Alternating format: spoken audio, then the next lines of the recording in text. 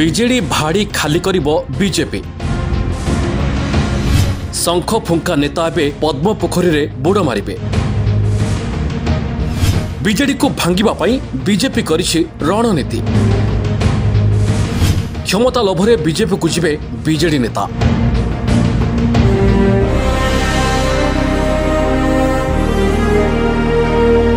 ବିଜୁ ଜନତା ଦଳର ନେତାମାନେ ଏବେ ବିଜେପି ମୁହାଁ ହେବା ଦେଖିବାକୁ ମିଳୁଛି ତୃଣମୂଳ ସ୍ତରର ଅନେକ ନେତା ଏବେ ବିଜେପିରେ ଯୋଗ ଦେବା ପାଇଁ ଗୋଡ଼ ଟେକି ବସିଛନ୍ତି ସରକାର ବଦଳି ଯାଇଥିବାରୁ ଏବେ ବିଜେଡି ସମର୍ଥିତ ସରପଞ୍ଚ ଓ ବ୍ଲକ ଅଧ୍ୟକ୍ଷମାନେ ଚିନ୍ତାରେ ପଡ଼ିଯାଇଛନ୍ତି ପୂର୍ବ ଭଳି ସେମାନଙ୍କର ଆଉ ଦବଦବା ରହିବନି ବୋଲି ସେମାନେ ଜାଣିସାରିଛନ୍ତି ଏପରିକି ଜିଲ୍ଲା ପରିଷଦ ସଭ୍ୟମାନେ ବିଜେପିରେ ଯୋଗ ଦେବାକୁ ପ୍ରସ୍ତୁତ ଥିଲେ ବି ଦଳ ବଦଳ ଆଇନ ଏଥିପାଇଁ ବାଧକ ସାଜିଛି।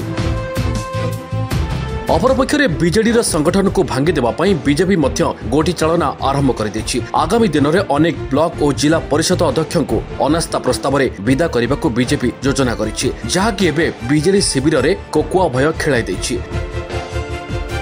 ଚବିଶ ବର୍ଷର ସରକାର ବିଜେପି ହାୱାରେ ଗଡ଼ି ପଡ଼ିଛି ସଂଗଠନ ଅପେକ୍ଷା ସମୀକରଣ ହିଁ ବିଜେପିକୁ ସୁହାଇଥିଲା ବିଜେପିର ପ୍ରକୃତ ଭୋଟ୍ ତେତିଶ ପରସେଣ୍ଟ ଥିବାବେଳେ ବାକି ଦଶ ପରସେଣ୍ଟ ଜନ ଅସନ୍ତୋଷ ଓ ବିଜେଡିର ଗୋଛିକଟା ନୀତି ପାଇଁ ବିଜେପି ହାତେଇ ନେଇଥିଲା ଏବେ ଦଳ ସଂଗଠନକୁ ପୂର୍ବାପେକ୍ଷା ମଜବୁତ କରିବାକୁ ରଣନୀତି ଆରମ୍ଭ କରିଦେଇଛି ଆଗାମୀ ପଞ୍ଚାୟତ ନିର୍ବାଚନ ପାଇଁ ଏବେଠାରୁ ବିଜେପି ପ୍ରସ୍ତୁତ ହେଉଥିବା ଦଳୀୟ ସୂତ୍ରରୁ ଜାଣିବାକୁ ମିଳିଛି ପଞ୍ଚାୟତ ଓ ବ୍ଲକରେ ଏବେ ବିଜେଡିର ରାଜ ଚାଲିଥିବାରୁ ବିଜେପି ସରକାରଙ୍କ ଯୋଜନାର ସୁଫଳ ବିଜେପି କାର୍ଯ୍ୟକର୍ତ୍ତାମାନେ ପାଇପାରିବେ ନାହିଁ।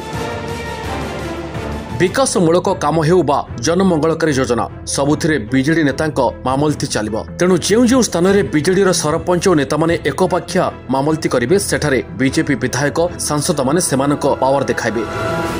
ବିଜେଡି ସମର୍ଥିତ କେତେକ ସରପଞ୍ଚ ଓ ସମିତି ସଭ୍ୟ ବିଜେପି ଆଡ଼କୁ ଢଳୁଥିବାରୁ ଧୀରେ ଧୀରେ ମିଶ୍ରଣ ପର୍ବ ଆରମ୍ଭ ହୋଇଯିବ। ତେବେ ଏହାକୁ ରୋକିବା ପାଇଁ ବିଜେଡି କି ପଦକ୍ଷେପ ନେବ ତାହା ଉପରେ ବି ନଜର ରହିଛି।